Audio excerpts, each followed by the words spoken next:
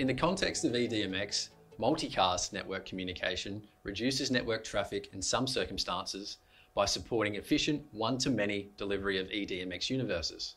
In this case, an eDMX generator, such as a lighting console or lighting effects software, transmits each eDMX universe once and the network switch delivers it to the lighting devices that require it. SACN supports multicast delivery, but ArtNet does not.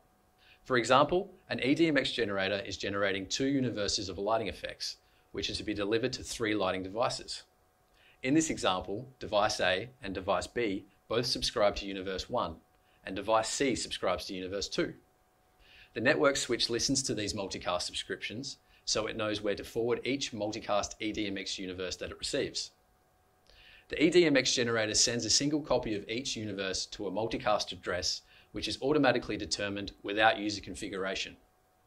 The switch then forwards a copy of universe 1 to both device A and device B, plus a copy of universe 2 to device C.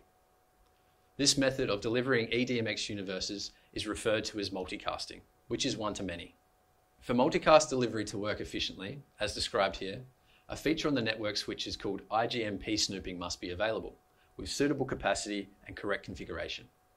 We have covered IGMP snooping as a separate video. Given each eDMX universe is generated only once, and the network only has a single copy of each universe, multicast is the most efficient method of delivering a single eDMX universe to many lighting devices. In comparison to unicast, sending via multicast does not rely on knowing the IP address of every device. This may make configuration of your eDMX generator and management of IP addresses on the network simpler. However, this comes at the cost of more advanced network hardware and requires you to understand and configure IGMP snooping.